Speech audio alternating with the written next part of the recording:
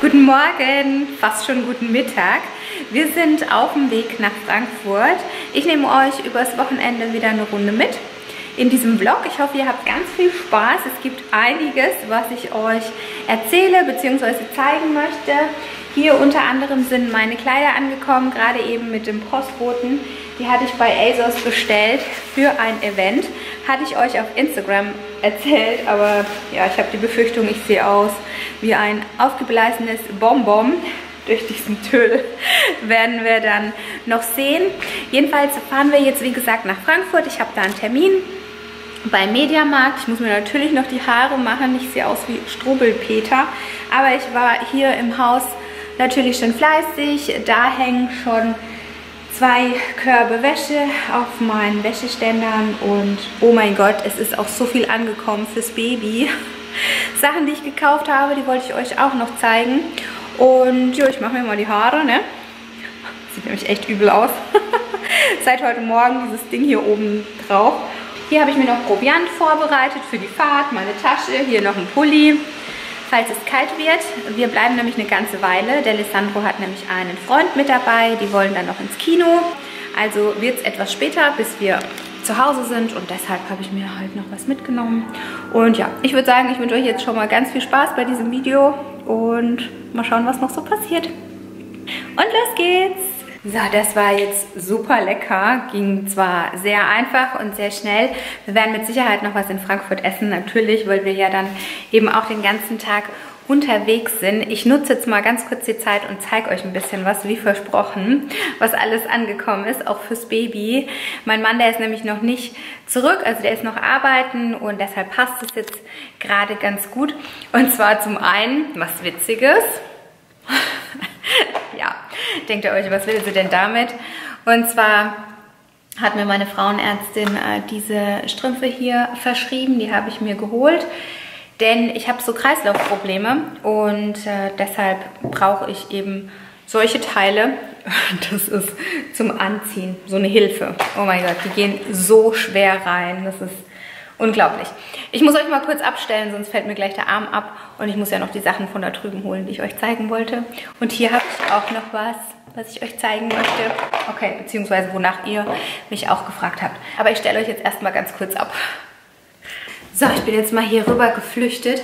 Drüben ist es definitiv zu laut. Der Max baut gerade was auseinander. Ich habe jetzt mal alles hier rüber getragen und nutze die kurze Pause nach dem Essen. Fresskoma, wer kennt's? genau, das tut jetzt gut. Ich zeige euch, wie gesagt, die Babysachen, die angekommen sind und ein bisschen Beauty. Ähm, aber nochmal ganz kurz wegen der Stützstrümpfe hier. Die sind natürlich nicht nur wegen dem Kreislauf. Ich sage es lieber mal ganz kurz dazu. Sonst bekomme ich wieder Hate. Und hier hat sich mein Mann total kaputt gelacht. Ich ehrlich gesagt auch. Es ist voll die Prozedur, bis man die anhat. Also die helfen einem natürlich, ähm, die Strümpfe anzuziehen. Für jeden, der jetzt nicht so richtig weiß, was da los ist. Äh, genau, aber es ist voll die Prozedur. Aber klar, wenn es hilft, dann macht man das natürlich. Übrigens, der Maxi Cosi ist auch eingezogen hier im Haus. Der ist so, so schön. Und jetzt klingelt Lissandros Telefon. War ja klar. Moment. So, in dem Haus hat man keine Ruhe, aber es ist auch völlig in Ordnung. Jetzt bin ich schon wieder raus. Ähm, ich glaube, ich war bei Maxi Cosi stehen geblieben. Äh, da wollte ich heute in einem Babyfachhandel eben noch was fragen. Und zwar wegen dem Verdeck. Also da bin ich mir nicht ganz sicher. Das mache ich noch und zeige euch dann später den Maxi Cosi. Der ist jetzt eben äh, unten.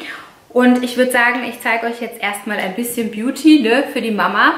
Äh, wie gesagt, da hatten mich ganz viele danach gefragt, wie ich das finde, weil ich es jetzt schon seit einigen Wochen teste und ihr das eben auf Instagram gesehen habt. Und zwar ist es ein Serum in Kombi mit der Mascara. So sieht das Ganze aus. Da ist so ein ja, Schaumapplikator mit dabei.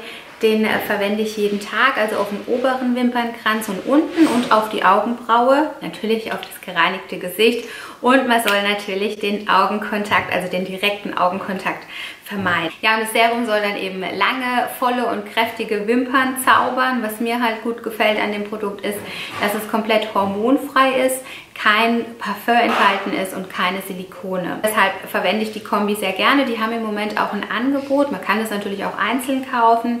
Ich habe dazu noch einen Rabattcode für euch, also der gilt für alles. Den kann ich euch gerne mal unten in die Infobox schreiben. Könnt ihr vorbeischauen, falls euch sowas auch interessiert. Da ist übrigens auch Hyaluronsäure noch mit enthalten. Das ist nochmal zusätzlich eben für die Feuchtigkeit gut. Und äh, ja, Hyaluronsäure und ich, wir sind so, ne, da melde ich mich dann immer, ich hätte es gerne ja, Spaß beiseite. Auf jeden Fall verwende ich das sehr, sehr gerne. Eben auch die Mascara, weil die wirklich einen schönen Schwung zaubert. Und das ist eben eine 2 in 1 Mascara, die für eine natürliche Wimpernverlängerung bzw. Wimpernverdichtung nützlich ist. Die hat wachstumsfördernde Wirkstoffe und einen Pflegekomplex, der eben mehr Volumen schenkt. Die Wimpern sehen auch ungeschminkt farbiger aus, da die Melaninbildung eben stimulierend wirkt. Genau, also kann ich euch wirklich ans Herz legen, falls euch sowas interessiert, dann schaut gerne mal bei M. Asam vorbei. Und jetzt machen wir mit den Babysachen weiter. Und zwar habe ich was ganz, ganz, ganz, ganz Schönes entdeckt. Und zwar dieses hier. Da habe ich echt so, so lange danach gesucht. Das ist so ein Babynestchen und normalerweise sind die ja ja, ähm, die haben so eine spezielle Form. Und ich wollte aber unbedingt ein rundes. Und jetzt habe ich eins gefunden. so sieht es aus. Ich mache das jetzt hier in der Mitte noch ab und wasche das Ganze. Das ist nämlich hier so befestigt mit so Schleifchen. Schaut mal, mit so Bändern eben. Das muss ich alles noch abmachen und dann kann ich das waschen und das legt man dann eben aufs Sofa oder ins Bettchen, damit das Baby halt nicht wegkullert. Und ich bin ganz, ganz glücklich, dass ich das gefunden habe. Das gefällt mir vom Material sehr, sehr gut. Wirklich, es ist super hochwertig. Und wie gesagt, es ist aus einem Online-Shop ähm, von Instagram. Also da habe ich das entdeckt. Lulando nennt er sich. Kann ich euch gerne mal upsala, unten in der Infobox auch verlinken, falls euch sowas interessiert. Und da habe ich eben auch diese Spucktücher her. Spucktücher kann man nie genug haben fürs Baby und noch ein Handtuch. Das sieht so aus. Hier eben speziell für das Köpfchen. Ne? Nach dem Baden kommt das hier so rein, das Baby. Hier das Köpfchen. Dann kann man das schön einwickeln und abtrocknen. Und es ist von der Qualität so mega bombastisch. Leute, das ist so krass.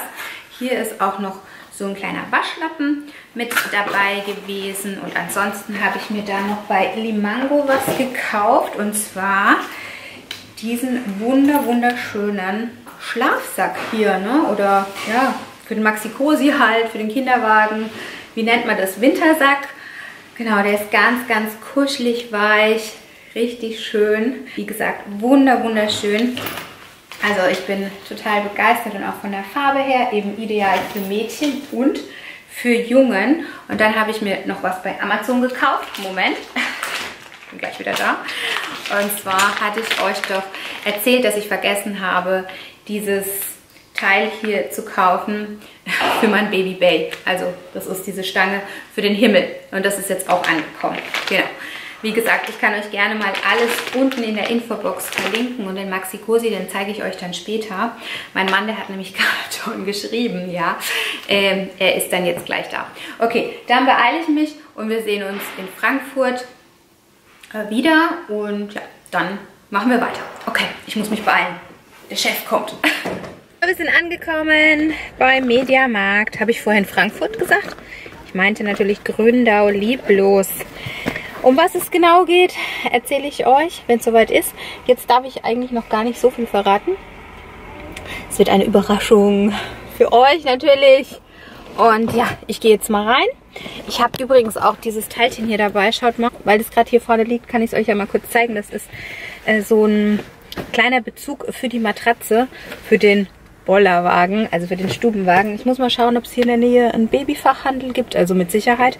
Während die Kinder dann im Kino sind, gehe ich nämlich dann mal gucken, ob ich da eben die passende Matratze finde. Und jetzt geht's erstmal zum Mediamarkt äh, mit dieser Kugel hier. Alles ein bisschen anstrengender. so, ich habe jetzt meine Männer rausgelassen im Kino. Ich bin jetzt hierher gefahren zu Baby One. Der Gianluca ist auch mit dabei. Der wartet jetzt im Auto. Ich schaue, dass ich eine kleine Matratze finde und dann fahren wir nochmal in die Stadt. Und ich brauche noch zwei Glückwunschkarten, denn morgen sind wir zu einer Taufe eingeladen. Also es werden zwei Kinder getauft. Und da freue ich mich schon drauf. Und ja, ich bin total außer Atem. Äh, ihr merkt es gerade. Und ich musste mir jetzt mal diesen Pulli hier anziehen. Gott sei Dank hatte ich den jetzt dabei, weil es ist echt frisch geworden. Ja, gut, dass ich den mitgenommen habe. Okay, also Luki, magst du mir noch kurz meine Tasche geben, bitte? Ja. Danke, mein Schatz. So, okay. Also ich bin gleich wieder da, ne, Schatz? Ja. So, okay. Hoffen wir mal, dass ich jetzt die Matratze kriege.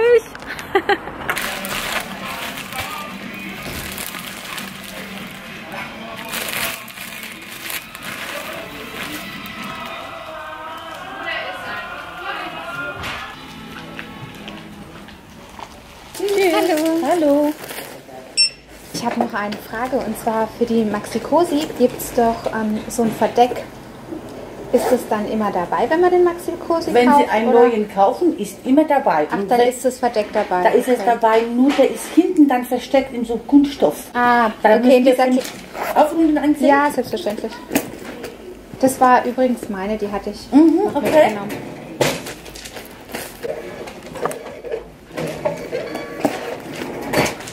Unbillig für Sie. Danke Ihnen. Schönen Feierabend. Danke. Okay, ich habe die Matratze und coole Musik. Immer wenn meine Jungs mit am Start sind. Das ist halt der Vorteil, ne? okay, los geht's, Lucky. Oh, Handbremse. ist voll ungewohnt bei dem Auto hier. Das ist das Auto von meinem Mann. Dir das? Hast du schon im Spiegel angeschaut? Ja. Quelle dir? Ja. Geschmackssache. Ich zeige euch gleich, was ich bei Nanunana gekauft habe. Ah, wie aufregend. Und der Luki probiert sich jetzt den Pulli an. Der ist definitiv schöner als der andere. Aber das Kind muss es ja selbst entscheiden, ne? Sieht auf jeden Fall schön aus, Luki. Und hier mit den Taschen, das passt. Die sind auch ganz warm. Ganz kuschelig. Was meinst du? Ja, ist gut. Ja, ne?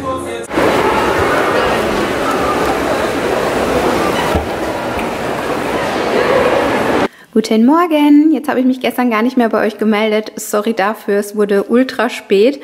Und jetzt zeige ich mich lieber auch noch nicht. Ich bin nämlich noch nicht ganz ready. Ich habe jetzt aber gerade schon Gedichte für die Karten rausgesucht. Die würde ich jetzt ganz gern fertig machen und alles einpacken. Deshalb zeige ich es euch einfach so ganz kurz, was es eben gestern geworden ist. Und zwar hatte ich euch ja erzählt, dass zwei Kinder getauft werden. Dazu habe ich einmal diese wunderschöne Karte hier gekauft. Leider haben mir die Taufkarten beim Müller nicht ganz so gut gefallen. Deshalb habe ich einfach sowas genommen. Ich werde jetzt gleich dann noch mit einem goldenen Stift dann eben speziell was für die Taufe draufschreiben, eben vorne drauf. Die hat mir auch sehr gut gefallen. Es ist ein Mädchen und ein Junge. Und deshalb diese beiden hier. Für den Jungen habe ich dann noch das hier gekauft. Hier das blaue Papier zum Einpacken. Das habe ich auch noch gekauft bei Nanunana, aber das hat jetzt eigentlich mit der Taufe gar nichts zu tun. Es hat mir einfach nur gut gefallen. Dann habe ich noch das gekauft für den Alessandro, diese Ballons. Der hat ja bald Geburtstag. Und ähm, für das Mädchen, die ist schon sechs, habe ich noch diese beiden Sachen hier gekauft. Einmal von Schleich, dieses wunderschöne Pferdchen bei Müller. Und das hat mir auch super gut gefallen. Ich fand den Spruch total witzig. Bei Nanunana habe ich das mitgenommen. Und das kommt dann hier rein. Das habe ich auch bei Nanunana gekauft. Ich habe jetzt hier schon mal so Seidenpapier zurechtgelegt. Das mache ich noch hier rein und ähm, diese Herzen. Der Nagellack, der steht nur hier, weil ich mir ähm, gestern Abend dann noch die Nägel lackiert habe. Aber das sieht nicht mehr so fresh aus, weil ich schon so viel geputzt habe. Genau, also so viel erstmal zur Taufe. Das mache ich jetzt dann gleich noch fertig. Hier liegen noch die Kleider. Mal schauen, ob ich das heute noch schaffe, euch das zu zeigen, wie das getragen aussieht. Und hier steht noch der Wäschekorb mit den Babysachen, die ich euch auch gezeigt habe. Dazu habe ich einen Haul abgedreht.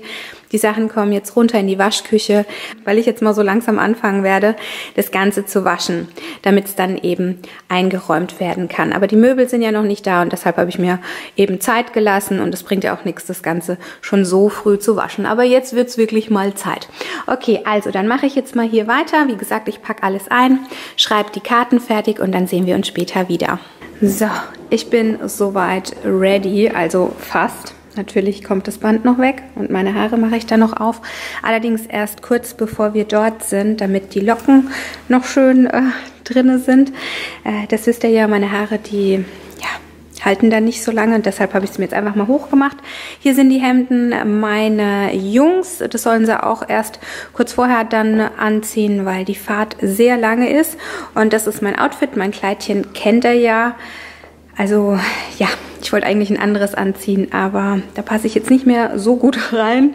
Ich schaffe es jetzt auch nicht mehr, die Kleider anzuziehen und euch zu zeigen, weil wir jetzt echt dringend los müssen. Da ist noch das Sakko von meinem Mann und ja, ich würde sagen, wir sehen uns dann später, wie das aussieht. Also das mache ich natürlich alles noch weg, ne? Ich denke, das ist klar. Also, los geht's. Hier sind übrigens auch noch die Geschenke. Hier die Karten.